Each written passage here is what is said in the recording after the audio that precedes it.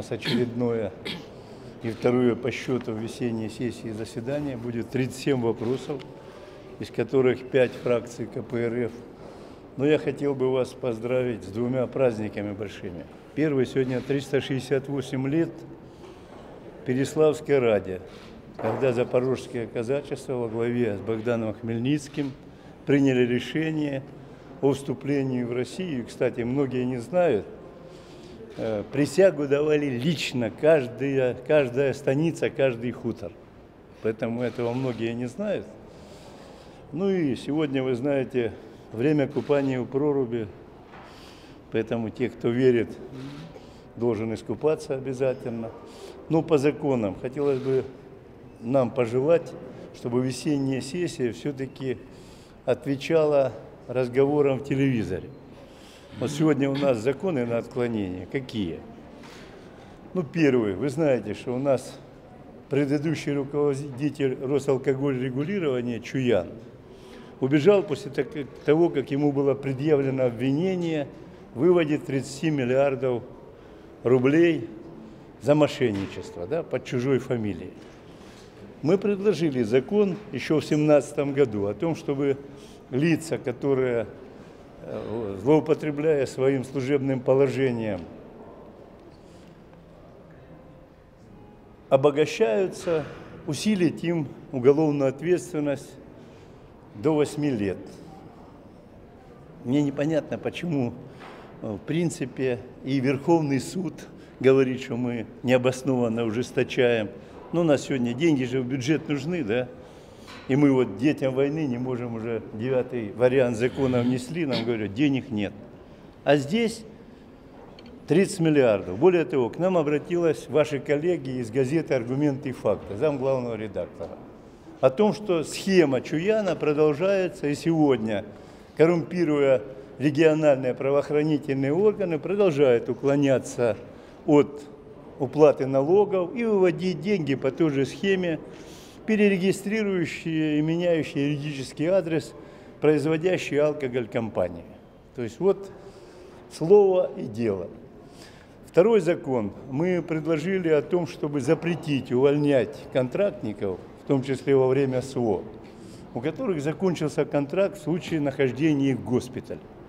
Ну, у нас есть просто факты, когда люди, которые получили ранения и находятся в госпитале, Пока они находились в госпитале, у них истек контракт, и их просто из госпиталя выставили на улицу. Ну, мы считаем, что вообще-то необходимо э, законодательно приравнять их или хотя бы к положениям Трудового кодекса, потому что у нас сегодня по Трудовому кодексу любой из вас, находясь в трудовых отношениях, не может быть уволен во время больничного, несмотря на основания. А военного, оказывается, можно. Третий закон о валютном регулировании валютном контроле. Вы знаете, что у нас странная позиция. У нас арестовали по разным оценкам 350 миллиардов долларов золотовалютных резервов, да, еще примерно на 600 миллиардов имущества наших сограждан, укравших и, вы, вы, и вы, выведших средства за рубеж. Да? Но у нас, смотрите, как это не парадоксально, но прошлым летом Минфин и Единая Россия единогласно проголосовала, ввели либерализацию закона о валютном контроле. То есть сегодня тем, кто продает за рубеж, можно оставлять средства за рубежом. Ну вот эта борьба называется с вывозом капитала, понимаете? Ну и, конечно же, сегодня есть закон Нины Останиной, где она предлагает, чтобы э, увеличить или усилить роль семьи, 8 июля сделать праздничным днем, как раз днем семьи. Но он тоже на отклонение, хотя тоже, в общем-то, странная борьба за демографию. Вы знаете, что и вчера фактически во всех выступлениях, кроме одного вопроса демографии, акцентировались о том, что, в принципе, идет вымирание нашей страны, и несмотря на присоединение четырех субъектов, мы с вами никак не можем перевалить за 150 миллионов численности, хотя наша территория, по мнению этнографов, чтобы ее удержать, надо население иметь не менее 350, а лучше 700. Иначе мы будем постоянно подвержены агрессии. Ну и по распределения обязанностей в нашем совете нашей фракции Юрий Петрович выполнил поручение фракции и проанализировал, что происходит с уголовным законодательством. Э, мы проанализировали некоторые принципиальные вопросы, касающиеся уголовного права. И э, речь пойдет об э, освобождении от уголовной ответственности лиц, совершивших преступления. Э, надо сказать, что этот институт сейчас имеет очень большое значение. Э, большое значение в связи с тем, что, с одной стороны, власть провозглашает необходимость гуманизации законодательства уголовного, а с другой стороны, э, наше уголовное законодательство становится все более репрессивным. От года в год увеличивается количество законопроектов, которые усиливают, ужесточают уголовную ответственность, вводятся новые составы преступлений. Поэтому в этой связи приобретает э, большое значение вот этот институт, институт освобождения от уголовной ответственности по нереабилитирующим основаниям. Э, вообще он применяется очень широко. У нас в Уголовном кодексе на сегодня 9 таких оснований, наверное, о них большинство людей слышали. Я напомню, такие как деятельное раскаяние, примирение сторон, возмещение ущерба, э, прекращение с назначением судебного штрафа и так далее. Э, мы, фракция, проанализировав, пришла к выводу, что тут два серьезных недостатка. Во-первых, во-первых, это отсутствие надлежащего регламента позволяет следователям, дознавателям, да и судьям а, время от времени собирать, э, пользуется, пользуется слабиной этого законодательства процессуального и собирать денежки э, с тех лиц, которые заподозрены в совершении преступления, действуя им в угоду. Брать отпускные. Да, брать, Точно. брать что-то, что-то брать, но деньги чаще всего, конечно, не щенки. Э, и второе, второе, о чем надо говорить, э, все эти нормы противоречат ныне действующей статье 49 Конституции о презумпции невиновности, где сказано, что виновность лица может быть определена только в приговоре, а э, решение о прекращении дела выносится не через приговор, а через постановление суда, либо, что еще тяжелее, это с постановления следователя. Ситуации такие встречаются очень часто – Каждое пятое судебное решение, каждое пятое судебное решение по уголовному делу касается именно принятия вот именно таких решений.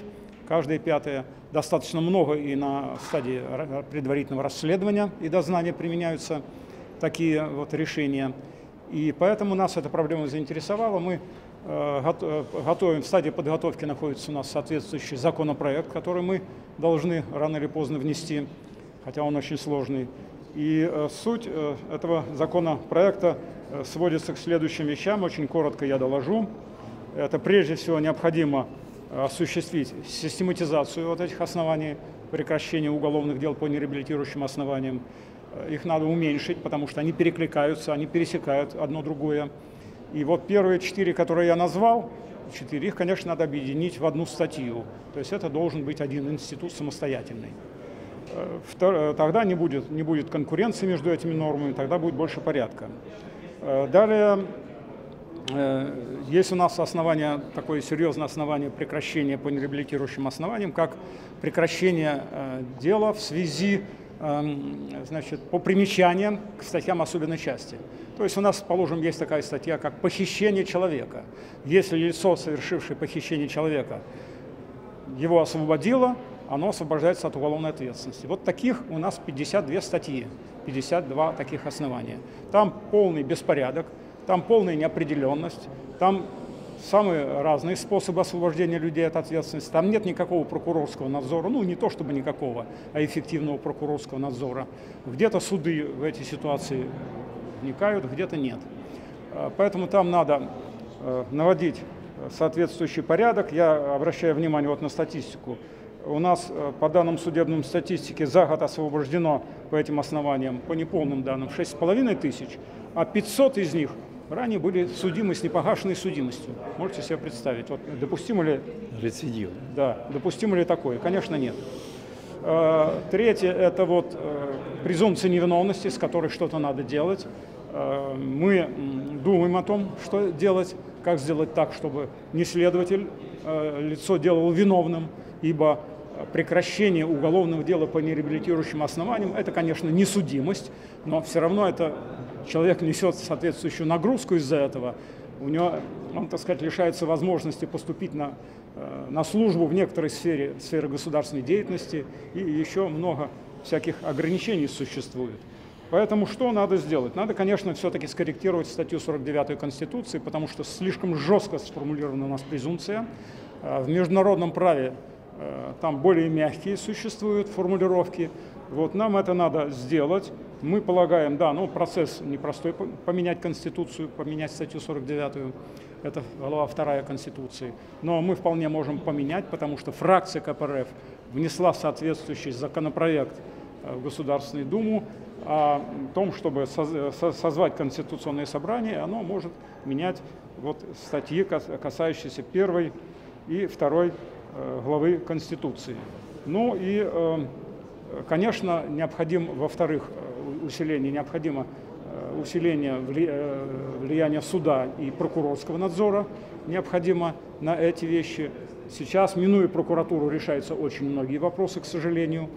Этого нельзя допустить, прокуратуру надо плотно подключать к этой задачке. И все такие дела должны разрешаться исключительно, исключительно, так сказать, согласия лица.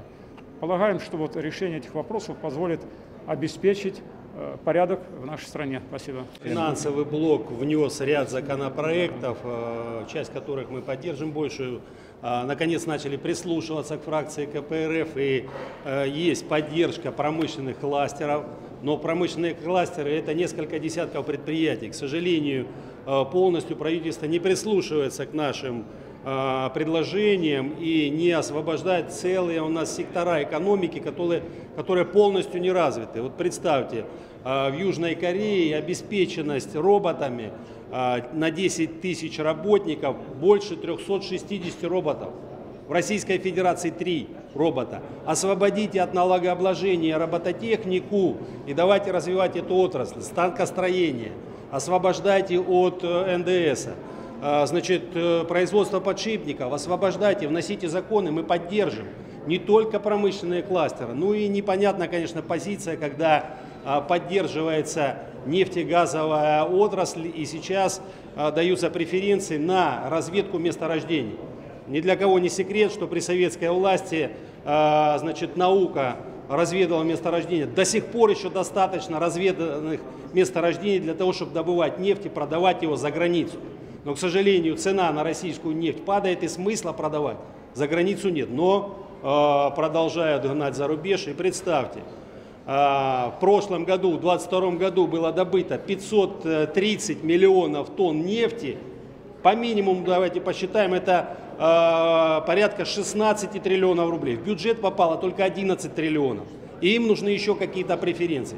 Сейчас нужны преференции на другое, на то, чтобы решать вопросы людей на местах. На местах, к сожалению, у нас мусорная реформа провалилась.